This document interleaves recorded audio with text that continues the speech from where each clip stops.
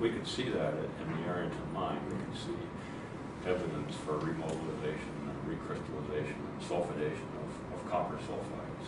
But I think that even the ones, even the, now looking back on it, I think that a lot of the copper sulfides that we maybe thought were original, the bornite, magnetite, even those are probably, had been remobilized a time or two.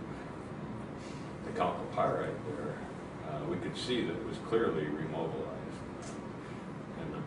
And the- originally you had a bornite magnetite assemblage, and then that had been overprinted by later alteration, altered magnetite, bornite to chalcopyrite. But looking back on that, I think even the bornite that we were looking at thinking was pristine probably wasn't.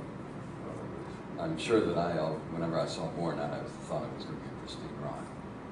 So did I. But at the same time puzzled by the fact that it- in many cases, I would also be seeing a little bit of chlorite. Yeah.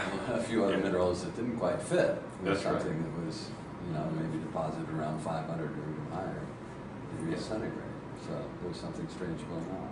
Yeah, and I, The, the, the overall link between these, these uh, Bornite chalcopyrite assemblages, let's say, um, with quartz veins, was a link that we saw in deposit after deposit after deposit. There's like some of the recent uh, cathodoluminescence work that uh, has been used to suggest that uh, a lot of the copper iron sulfides, like bornite and copper, are actually deposited at far lower temperatures than the mass of the quartz. deposit or redeposit. And, but the- I'm talking, referring to publications, one of which has my name in it, which suggests that the bulk of the copper was deposited at lower temperatures. Yeah. I'm talking about the papers, I'm not talking about where the truth might be. Yeah. Uh, But we've always been worried about it. I've certainly always been worried about it, and I know that you've been critical of some of, uh, some of these, uh, and for good reasons. Uh, Because you can argue, well, why is it that all of these lower temperature fluids that you say are, that I say are depositing bornite copper at three fifty? Why is it that all those fluids, and the majority of them are fi- are depositing that only in the earlier so-called A or AB quartz veins that formed at six hundred to five hundred degrees C? Exactly. It- it- So there's something about an initial depositional event that we can't see because it's been totally uh, overprinted by readjustments within this mass of early A, AB quartz veins. Yeah, totally. Fracturing, dissolution, redeposition, and so on. There's the sulfides around, they all end up in that last, what at Bingham looks like a, a non, non, uh, the black quartz, the black ca- in cathodoluminescence, non-luminescent quartz, Yeah. all of it, all are in there, and in little bugs and little overgrowths. Yeah. But they could, all could have moved.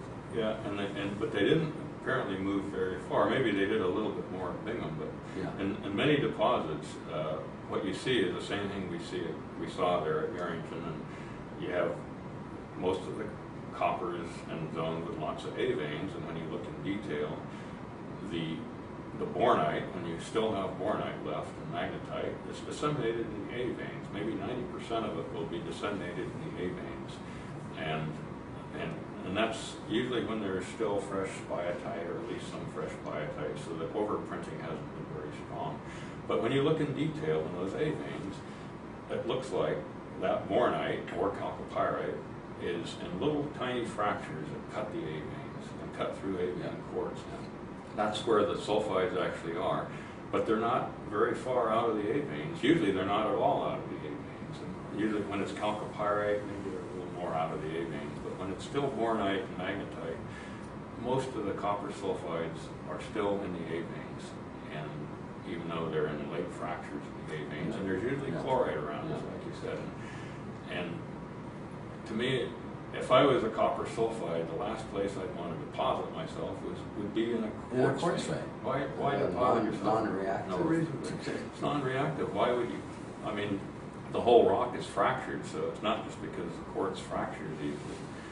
Um, The, the A veins fracture, sure, but so does the rest of the rock. So why don't you get deposited out of the rock? And, uh, and the answer is you do if, if it's, there's enough remobilization to make everything into chalcopyrite and pyrite. But when it's still bornite, And even sometimes chalcopyrite is still in the A veins. And, there's more or less degrees of mobilization like that. So what, what it looks like to me is that the initial deposition had to be probably bornite or digenite chalcocite or something like that in A veins. Even bornite assemblages are probably a little bit recrystallized, remobilized, maybe a little bit sulfidized. So